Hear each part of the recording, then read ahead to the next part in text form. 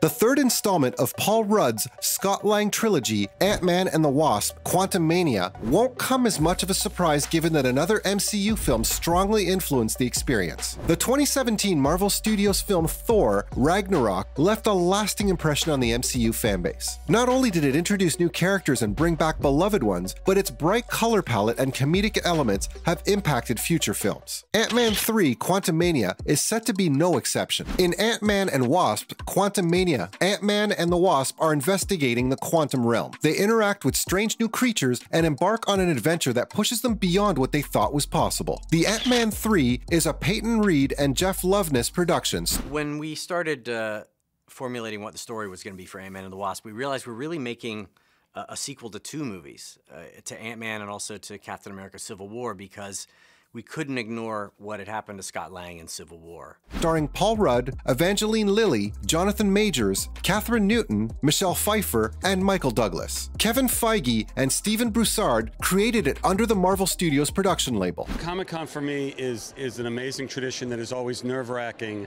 and uh, stress-inducing, and in this case, also extremely emotional. It's been three years since we have been here. And Walt Disney Studios will handle the distribution of the movie. According to Paul Rudd, the next Ant-Man and the Wasp movie was inspired by Thor Ragnarok.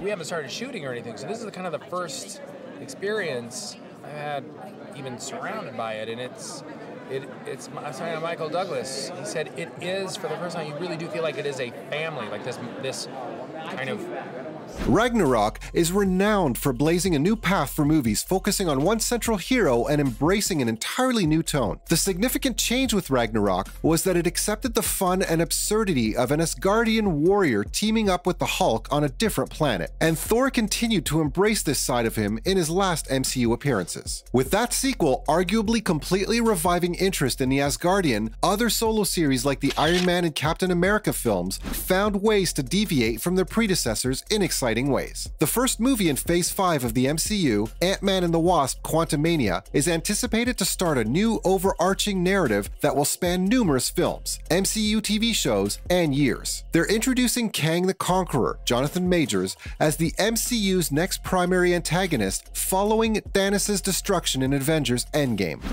Uh, two a days sometimes, three a days sometimes, you know. Um, I look I look at the I think we got to stay. I mean, talk, let's just talk about the folks.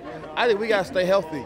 You know, um, After becoming stuck in the quantum realm due to a terrible accident, Ant Man the Wasp and the rest of the Ant Man crew will meet the deadly antagonist. Even though this is the third Ant Man movie, Quantum Mania may mark the start of the MCU's next primary phase. The upcoming Ant Man and the Wasp Quantum Mania film will be quite different. Unlike the Ant Man and the Wasp Quantum Mania, the previous films had all been lighter affairs with generous helpings of humor. The movie's starting to resemble a high stakes Avengers blockbuster more than a usual Ant Man film. The teaser of the film reveals the hero's desperation to imprison Kang. In an interview with Empire magazine, Rudd claimed that Ant-Man and the Wasp Quantumania was motivated by Thor Ragnarok. The film's radical shift in tone had persuaded them to try the novel and unheard of Ant-Man tone. He stated, but we kept talking during the process. I kept thinking about Thor Ragnarok, where it was like, whoa, we can't believe this is the third one. It seems so different. Adding, something was appealing about doing something unexpected. Director Peyton Reed said said they wanted to pivot into something on a much larger canvas for the upcoming threequel. We wanted to pivot into something on a much larger canvas and also that went darker than you might expect. The movie's writer, Jeff Loveness, compares the whole event to an Avengers movie. The first discussion we had was, what if Ant-Man is accidentally in an Avengers movie by himself? Michael Douglas, Rudd's Ant-Man co-star, commented that he could tell there was a change in tone from the series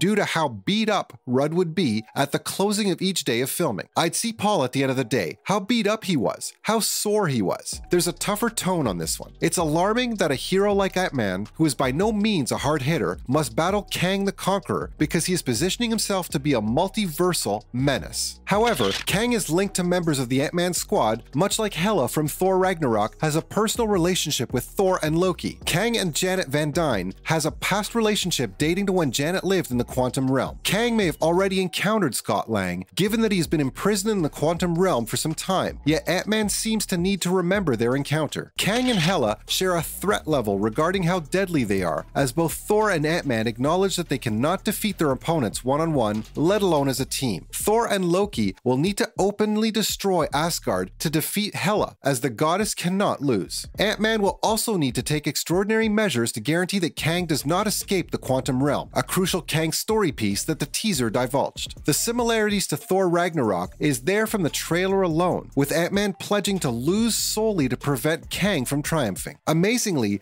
the Marvel Cinematic Universe, the MCU, is still flexible after 30 movies and many streaming shows. Ragnarok was a turning point for the series by demonstrating that not every hero of individual franchise within the MCU has to be one thing. The Ant-Man 3 team and Peyton Reed could have sat back and made another Edgar Wright style comedy for Quantum Mania, but they chose not to. They decided to build something bigger instead, something deserving of the entrance of Kang the Conqueror. These most recent statements are in keeping with the pattern of the movie's producers advocating for its dark and tough storyline. That does not mean there won't be any laughter in the Ant Most fam's recent journey. Bill Murray and other comedic greats are still included in the MCU blockbuster. However, viewers can anticipate a movie that will take the Ant-Man concept to new heights. It was announced that Disney Plus would use notable Marvel Studios Legends episodes to raise anticipation for the debut of Ant-Man and the Wasp Quantumania as marketing for the film picks up. Before the debut of a new project, Marvel has a habit of releasing episodes of Marvel Studios Legends. These episodes recount the events of the main characters' previous appearances